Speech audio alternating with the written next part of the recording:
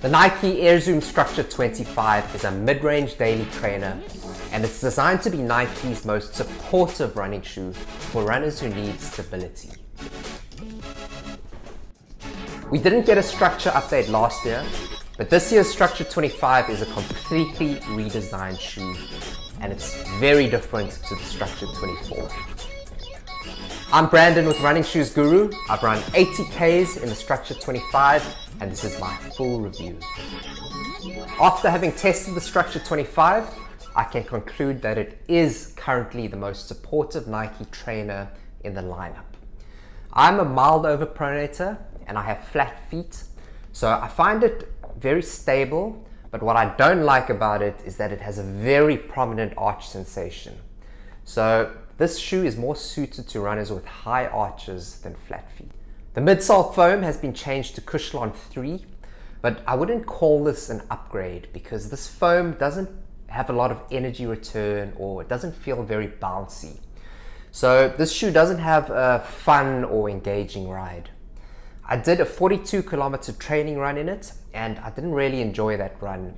The Structure 25 felt really heavy and sluggish and I felt like I had to work a lot harder in this shoe than in other trainers with more modern foams. The Structure 25's outsole is its main strength. It's got plenty of thick, hard-wearing rubber which is durable. It's also got protruding lugs, so grip is great even when it's raining.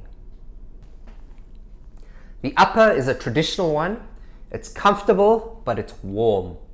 There's a little bit less padding than the Structure 24, but it's still a shoe that's more suited to cool climates than warm ones. The tongue is not gusseted, so there is a little bit of tongue slide, but I don't find it too annoying.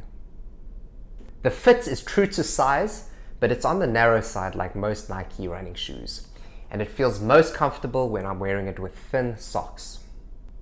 The Structure 25 is a much more supportive version than the last two. It's got this extra heel clip at the back. It's got more arch support and it's got a firmer ride which results in less lean bias.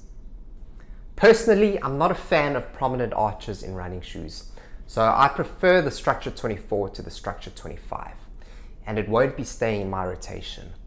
I prefer the stability to come from other less intrusive features like a wider base or a plate.